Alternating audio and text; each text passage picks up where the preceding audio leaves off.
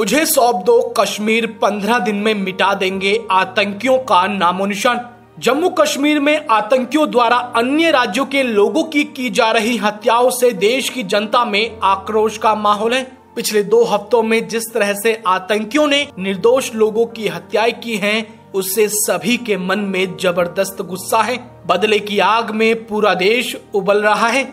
आतंकियों के नामो निशान को मिटाने के लिए देश की जनता बेताब है। आपको बता दें कि पिछले कुछ दिनों से जम्मू कश्मीर में गैर जम्मू कश्मीरी लोगों पर आतंकी हमले बढ़े हैं। बीते रविवार को भी बिहार के दो लोगों की हत्याएँ कर दी गई।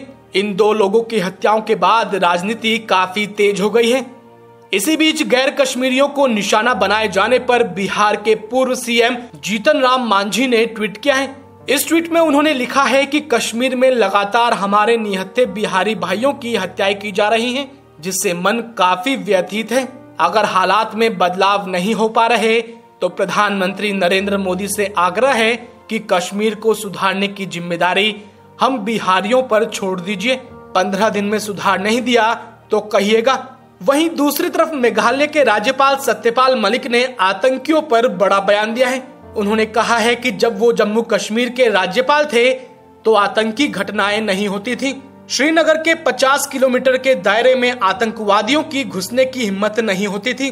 घाटी में गैर कश्मीरियों पर बढ़ते हमले के बाद लोगों में गुस्सा बढ़ता जा रहा है। घाटी में गैर कश्मीरियों पर बढ़ते हमले के बाद लोगों में गुस्सा बढ़ता जा रहा है। आपको बता दें कि घाटी में सुरक्षा बलों के ऑपरेशन से आतंकी संगठन बौखला गए हैं। अब वे गैर कश्मीरी निहत्ते मजदूरों को टारगेट बना रहे हैं। आतंकवादियों ने रविवार शाम को दक्षिण कश्मीर के कुलगाम में तीन मजदूरों को गोली मार दी थी। इनमें से दो की मौके पर ही मौत हो गई थी। तीनों मजदूर बिहार के रहने वाले हैं। घायल की पहचान चुनचुन ऋषिदेव के तौर पर हुई है। वहीं मारे गए दो मजदूरों के नाम राजा ऋषिदेव और जोगिंदर ऋषिदेव हैं। ऐसे में अब सेना ने आतंकियों के खिलाफ ऑपरेशन ऑल आउट को और तेज कर दिया है। आतंकियों को ढूंढ ढूंढ कर मारा जा रहा है।